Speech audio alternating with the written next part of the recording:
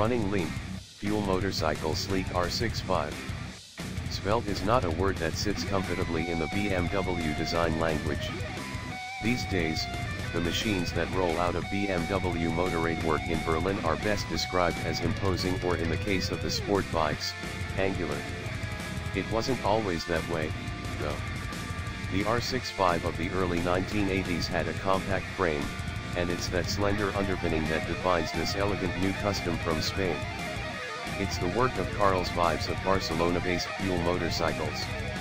He's the man responsible for Scram Africa, an epic ride across the North African desert, and best known for his neo-retro trail bikes and scramblers, like this R100 Route. This BMW R65 is a spectacular departure from the usual fuel style. The client a young guy who also lives and works in Barcelona was happy to give Carles and his team carte blanche on the project. From the beginning we had a very clear idea, says Carles. To create a bike that would have a racing feel, but could still be ridden every day by a gentleman in a suit and tie. The donor bike in 1986, model R65 monolever was in good nick, negating the need for any engine work. Fuel merely removed the airbox and fitted a pair of velocity stacks.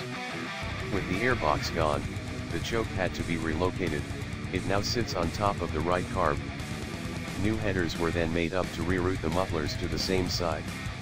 Carl says the twin reverse cone mufflers not only have a racing look to them, but make the right noise as well.